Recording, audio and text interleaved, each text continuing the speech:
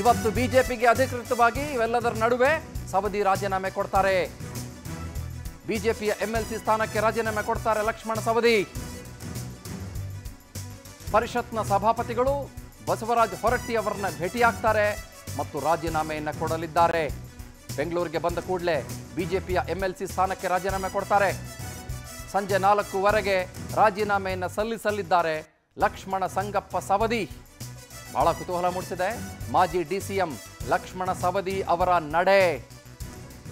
Absolutely ಇಲ್ಲಿ ಇನ್ನೊಂದು ಬರ್ಬೋದು ನಮಗೆ ಪ್ರಶ್ನೆ. ಪ್ರಶ್ನೆ ಏನು ಅಂತಂದರೆ, ಬಿ ಜೆ ಪಿ ಎಲ್ಲವನ್ನೂ ಕೂಡ ಕೊಟ್ಟಿತ್ತು ಅಂತ. ಭಾಳ ಜನ ಇದನ್ನೇ ಮಾತಾಡ್ಕೊಳ್ತಾರೆ. ಏನು ಕೊಟ್ಟಿತ್ತು ಸಾರ್? ಬಿ ಜೆ ಪಿ ಎಲ್ಲ ಕೊಟ್ಟಿತ್ತು. ಬಿ ಜೆ ಪಿ ಅವರು ಸೋಲು ಕಂಡಿದ್ದ ಸಂದರ್ಭದಲ್ಲಿ ಅವ್ರನ್ನ ಕರ್ಕೊಂಬಂತು, ಅವ್ರನ್ನ ಎಂ ಎಲ್ ಸಿ ಮಾಡ್ತು ಎಂ ಎಲ್ ಸಿ ಮಾಡಿದ ನಂತರದಲ್ಲಿ ಅವರನ್ನ ಮಿನಿಸ್ಟ್ರ್ ಮಾಡಿದ್ರು.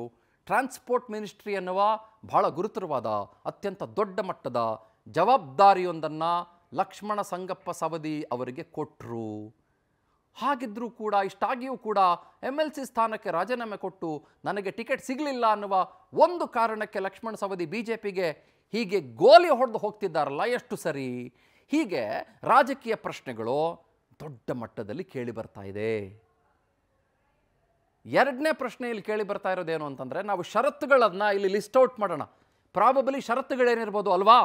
ಷರತ್ತುಗಳನ್ನು ಲಿಸ್ಟ್ ಔಟ್ ಮಾಡೋಣ. ಕಾಂಗ್ರೆಸ್ಗೆ ಸೇರಿಕೊಳ್ಬೇಕು ಅಂತಂದರೆ ಷರತ್ತು ಏನು ಹಾಕಿರ್ಬೋದು. ಇದನ್ನು ಲಿಸ್ಟ್ ಔಟ್ ಮಾಡೋಣ. ಎರಡನೇ ಲಿಸ್ಟ್ ಔಟು ನಾವಲ್ಲಿ ಗ್ರಾಫಿಕ್ಸಲ್ಲಿ ಅಥವಾ ನಮ್ಮ ಪಾಯಿಂಟರ್ಸಲ್ಲಿ ಏನು ತೋರಿಸೋಣ ಅಂತಂದರೆ, ಲಕ್ಷ್ಮಣ್ ಸವದಿ ಕಾಂಗ್ರೆಸ್ಗೆ ಬಂದರೆ ಆಗಬಹುದಾದಂಥ ಲಾಭ ಏನು? ಮೂರನೇ ಲಿಸ್ಟು ನಾವೇನು ಮಾಡೋಣ ಅಂತಂದರೆ, ಲಕ್ಷ್ಮಣ ಸವದಿ ಕಾಂಗ್ರೆಸ್ಗೆ ಬಂದರೆ ಬಿ ಜೆ ಪಿಗೆ ಆಗಬಹುದಾದಂಥ ಹೊಡೆತ ಏನು? ನಾಲ್ಕನೇ ಪಾಯಿಂಟರ್ಸು ನಾವೇನು ಮಾಡೋಣ ಅಂತಂದರೆ ಲಕ್ಷ್ಮಣ ಸವದಿಯವರನ್ನ ಕನ್ವಿನ್ಸ್ ಮಾಡೋದಕ್ಕೆ ಬಿ ಜೆ ಪಿ ಯಾಕೆ ವಿಫಲವಾಯಿತು ಅಂತ. ಅಣ್ಣಪ್ಪ ಬಾರ್ಕಿ ನಮ್ಮ ಬೆಳಗಾವಿ ಪ್ರತಿನಿಧಿ ಲೈವ್ನಲ್ಲಿ ಜಾಯ್ನ್ ಆಗ್ತಾ ಇದ್ದಾರೆ. ಅವ್ರನ್ನ ಮಾತನಾಡ್ಸೋಣ ಇವಾಗ. Annappa good morning good morning Chandan good morning good morning Annappa ಏನು ಗೊತ್ತಾ? ನಾನು ಒಂದಿಷ್ಟು ಅನಾಲಿಟಿಕಲ್ ಆಗಿ ನಿಮಗೆ ಪ್ರಶ್ನೆಗಳನ್ನು ಕೇಳ್ತಾ ಹೋಗ್ತೀನಿ. ಬೆಳಗಾವಿ ರಾಜಕೀಯ ಭಾಳ ಚೆನ್ನಾಗಿ ಗೊತ್ತು. ನಿಮಗೆ ನನಗೆ ಒಂದಿಷ್ಟು ನೀಟಾಗಿ ಉತ್ತರಗಳನ್ನು ಕೊಡ್ತಾ ಹೋಗಿ ನೀವು.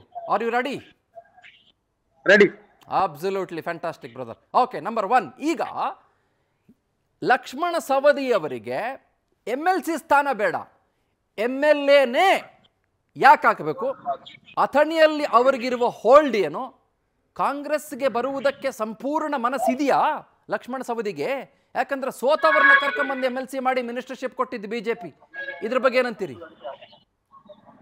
ಖಂಡಿತವಾಗ್ಲೂ ಚಂದನ್, ನಿನ್ನೆ ಕೆಲವೊಂದಿಷ್ಟು ಏನು ಸಭೆಯನ್ನ ಮಾಡುವಂತಹ ಸಂದರ್ಭದಲ್ಲಿ ನನ್ನ ರಾಜಕೀಯ ಗುರು ಕಾಲ್ ಮಾಡಿದ್ರು, ಆದ್ರೂ ನಾನು ಫಿಟ್ ಮಾಡ್ಲಿಲ್ಲ ಅನ್ನುವಂತ ಮಾತುಗಳನ್ನ ಹೇಳಿದ್ರು, ಅವ್ರಿಗೆ ಉತ್ತರ ಕೊಡಕ್ ಆಗಲ್ಲ ಅಂತ ಹೇಳಿದ್ರು. ಅದ್ರ ಅರ್ಥ ಏನು ಸೌದಿಗೆ ಬಿಜೆಪಿಯನ್ನ ಬಿಟ್ಟು ಹೋಗ್ಲಿಕ್ಕೆ ಆಸೆ ಇಲ್ಲ. ಆದ್ರೆ ಶತಾಯ ಗತಾಯ ಕ್ಷೇತ್ರದಲ್ಲಿ, ಅದರಲ್ಲೂ ಅಥಣಿಯಲ್ಲಿ, ಬೆಳಗಾವಿ ಜಿಲ್ಲೆಯಲ್ಲಿ ತನ್ನ ಹಿಡಿತವನ್ನ ಸಾಧಿಸ್ಬೇಕು ಅನ್ನುವಂತ ನಿಟ್ಟಿನಲ್ಲಿ ಹೊರಟಿರುವಂತಹ ಸೌದಿಗೆ ಈ ಬಾರಿ ಅಥಣಿ ಟಿಕೆಟ್ ಬೇಕಾಗಿತ್ತು. ಯಾಕಂದ್ರೆ ರಾಜಕೀಯ ಅಸ್ತಿತ್ವವನ್ನ ಉಳಿಸ್ಕೊಳ್ಬೇಕು ಜೊತೆಗೆ ಬೆಳಗಾವಿ ಜಿಲ್ಲೆಯಲ್ಲಿ ಸಾವುಕಾರ್ ವಿರುದ್ಧ ತೊಡೆ ತಟ್ಟಬೇಕು ಅಂತಂದ್ರೆ ಶಾಸಕರು ಆಗ್ಲೇಬೇಕು. ಯಾಕಂದ್ರೆ ಇಲ್ಲಿ ಬೆಳಗಾವಿಯಲ್ಲಿ ಬಿಜೆಪಿ ಅದರಲ್ಲೂ ಬಿಜೆಪಿ ಬಿಜೆಪಿಯಲ್ಲಿ ಮನೆಯೊಂದು ಮೂರು ಬಾಗಿಲಾಗಿತ್ತು. ಯಾಕಂದ್ರೆ. ಒಂದೆಡೆ ಸೌದಿ ಕುಟುಂಬ ಇನ್ನೊಂದೆಡೆ ಕತ್ತಿ ಕುಟುಂಬ ಇನ್ನೊಂದೆಡೆ ಜೊಲ್ಲೆ ಕುಟುಂಬ ನಾಳೆ ಜ- ಜಾರಕಿಹೊಳಿ ಕುಟುಂಬ. ಹೀಗಾಗಿ ಮನೆಯೊಂದು ಮೂರು ಬಾಗಿಲಾಗಿತ್ತು. ಇಂತಹ ಸಂದರ್ಭದಲ್ಲಿ ಟಿಕೆಟ್ ಬೇಕೇ ಬೇಕು ಅಂತ ಶತಾಯಗತಾಯ ಅವರು ಹೈಕಮಾಂಡ್ ಮೇಲೆ ಒತ್ತಡ ಹಾಕಿದ್ರು. ನನಗೆ ಜಿಲ್ಲೆಯಲ್ಲಿ ಪ್ರಭಾವವಾಗಿ ಬೆಳಿಬೇಕು ಅಂತಂದ್ರೆ ಬೇಕು ಅನ್ನುವಂತ ನಿಟ್ಟಿನಲ್ಲಿ ಹೇಳಿದ್ರು. ಆದ್ರೆ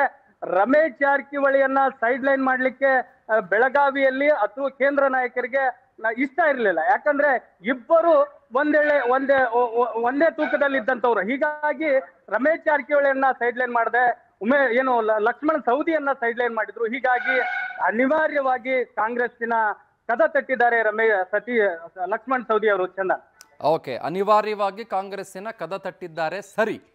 ಈಗ ಇನ್ನೊಂದು ಮಾತು ಏನು ಕೇಳಿ ಬರ್ತಾ ಇದೆ ಅಂತಂದರೆ, ಇದು B J P versus Laxman Savadi ಅನ್ನುವುದಕ್ಕಿಂತ ಮುಖ್ಯವಾಗಿ ಕುಮಟಳ್ಳಿ ರಮೇಶ್ ಜಾರಕಿಹೊಳಿ ವರ್ಸಸ್ ಲಕ್ಷ್ಮಣ ಸವದಿ. ಒಂದು. ಎರಡನೇದು, ಈ ಬೆಳಗಾವಿ ಭಾಗದಲ್ಲಿ ಏನು ಅಂತಂದ್ರೆ, ಅನೇಕ ಜನ ರಾಜಕೀಯ ನಾಯಕರಿಗೆ ಅವರ ಬಿಸ್ನೆಸ್ಸು ಅವರ ಸಕ್ಕರೆ ಕಾರ್ಖಾನೆ ಅಥವಾ ಅವರ ಕೋಆಪರೇಟಿವ್ ಸೆಕ್ಟರಿನ ಎಕ್ಸ್ಟೆನ್ಷನ್ನೇ ರಾಜಕೀಯ ಅಂತ.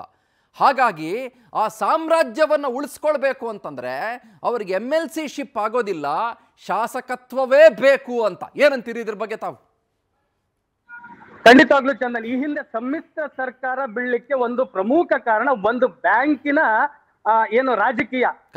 ಆ ಬ್ಯಾಂಕಿನ ರಾಜಕಾರಣದಲ್ಲಿ ಬಂದು ಡಿ ಕೆ ಶಿವಕುಮಾರ್ ಮೂಗು ತುರ್ತಿದ್ರು ಅನ್ನುವಂತ ಕಾರಣಕ್ಕೆ ಬಂಡಾಯ ಎದ್ದು ಸಮ್ಮಿಶ್ರಕ್ಕೆ ಸರ್ಕಾರವನ್ನ ಕೆಡವಲಿಕ್ಕೆ ರಮೇಶ್ ಜಾರಕಿಹೊಳಿ ಹೋಗಿರುತ್ತೆ ಅದೇ ರೀತಿ ತಮ್ಮ ಬಿಸ್ನೆಸ್ ಗಳನ್ನ ತಮ್ಮ ಏನು ವ್ಯವಹಾರ ವಹಿವಾಟುಗಳು ಏನಿದಾವೆ, ಅವುಗಳಿಗೆ ಪ್ರಬಲವಾಗಿ ಬೇಕಾಗಿರುವಂತದ್ದು ರಾಜಕೀಯ. ಹೀಗಾಗಿ ತಮ್ಮ ಬೆಳಗಾವಿ ಜಿಲ್ಲೆಯಲ್ಲಿ ಮತ್ತು ರಾಜ್ಯದಲ್ಲಿ ತಮ್ಮ ಅಸ್ತಿತ್ವವನ್ನ ಉಳಿಸ್ಕೊಳ್ಳಿಕ್ಕೆ ಈಗ ರಮೇಶ್ ಜಾರಕಿಹೊಳಿ ಹೊರಟಿರುವಂತದ್ದು ಅದಕ್ಕೆ ಸೌದಿ ಹೊರಟಿರುವುದು. ಹೀಗಾಗಿ ಇಬ್ಬರ ಮಧ್ಯೆ ಈಗ ಏನು ಮಜಗಜಗಳ ಕಾದಾಟ ಅನ್ನುವ ಲೆಕ್ಕದಲ್ಲಿ ಕಾದಾಟ ನಡೆದಿತ್ತು. ಈಗ ಶತ್ರುವಿನ ಶತ್ರು ಮಿತ್ರ ಎನ್ನುವಂತೆ ರಮೇಶ್ ಜಾರಕಿಹೊಳಿ ಹಣಿಲಿಕ್ಕೆ ಏನು ಲಕ್ಷ್ಮೀ ಹೆಬ್ಬಾಳ್ಕರ್ ಇವತ್ತು ಹೊಸ ಪ್ಲಾನ್ ಅನ್ನ ಮಾಡಿರುವಂತದ್ದು ಕಾಂಗ್ರೆಸ್ ಕೂಡ ಹೊಸ ಪ್ಲಾನ್ ಅನ್ನ ಮಾಡಿರುವಂತದ್ದು ಈಗ, ಈಗಷ್ಟೇ ಹೋಗಿ ಏನು ಸೌದಿಯನ್ನ ಭೇಟಿಯಾದಂತ ಚನ್ನರಾಜ್ ಹಟ್ಟಿಹೊಳಿ, ಲಕ್ಷ್ಮೀ ಹೆಬ್ಬಾಳ್ಕರ್ ಸಹೋದರ ಚನ್ನರಾಜ್ ಹಟ್ಟಿಹೊಳಿ ಭೇಟಿಯಾಗಿ ಈಗ ಬೆಂಗಳೂರಿಗೆ ಕಳಿಸಿರುವಂತದ್ದು ಒಟ್ಟಾರೆ ರಾಜ್ಯ ರಾಜಕಾರಣದ ಚಿತ್ರಣವನ್ನೇ ಬದಲಾಯಿಸುವಂತ ಶಕ್ತಿ ಹೊಂದಿರುವಂತ ಬೆಳಗಾವಿಯ ಹದಿನೆಂಟು ವಿಧಾನಸಭಾ ಕ್ಷೇತ್ರದಲ್ಲಿ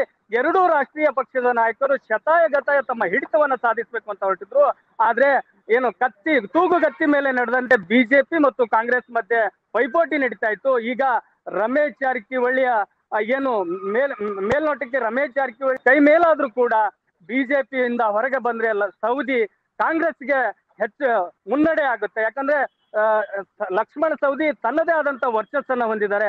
ಕನಿಷ್ಠ ಐದಾರು ವಿಧಾನಸಭಾ ಕ್ಷೇತ್ರದಲ್ಲಿ ತಮ್ಮ ಪ್ರಭಾವ ಬೆಳೆಸಿ ಗೆಲ್ಲುವಂತ ಶಕ್ತಿಯನ್ನ ಹೊಂದಿದ್ದಾರೆ. ಹಾಗಾಗಿ ಹೀಗಾಗಿಯೇ ಕಾಂಗ್ರೆಸ್ ನಾಯಕರು ಅವರು ಏನು ಕಂಡೀಷನ್ ಹಾಕಿದ್ರು ಅವ್ರನ್ನ ಪಕ್ಷಕ್ಕೆ ಬರಮಾಡ್ಕೊಳ್ಬೇಕು ಅನ್ನುವ ನಿಟ್ಟಿನಲ್ಲಿ ಸ್ಟ್ರಾಟಜಿಯನ್ನ ಮಾಡಿರುವಂತದ್ದು ಚಂದನ್.